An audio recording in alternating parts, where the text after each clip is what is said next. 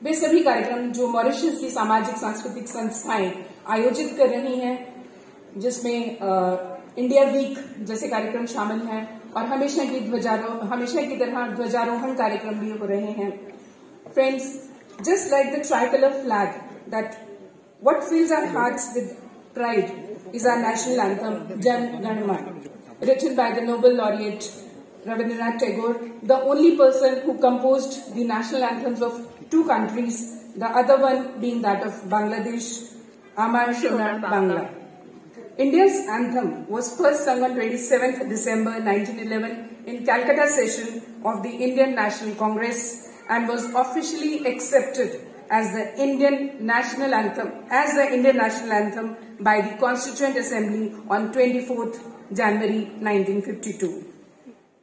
आप सब बेसब्री से इंतजार कर रहे हैं सांस्कृतिक कार्यक्रम का तो चलिए बातों के सिलसिले को थोड़ा थामते हैं और आनंद लेते हैं देश प्रेम से भरपूर एक प्रस्तुति का जिसके आपके जिसे आपके समक्ष प्रस्तुत करेंगे पचपन कलाकार गीत संगीत के माध्यम से।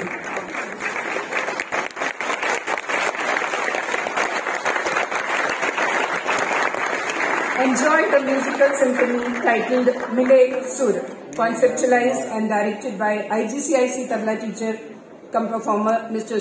Shubhashish Pathak. Mile Sur will begin with Vande Mataram and instrumental music with the choir presented by the IGCIC vocal teacher come performer Shri Paritosh Kumar Sinha and tabla teacher Mr. Pathak along with their Mauritian students who come to IGCIC and learn these art forms. They are also being accompanied by Mauritian artists on sitar, Manjeet Singh Golap. On keyboard, we have Shah, Sean Rahman.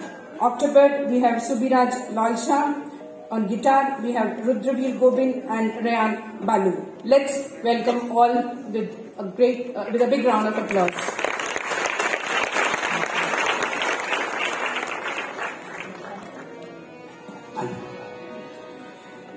Mile Sur is all about unity.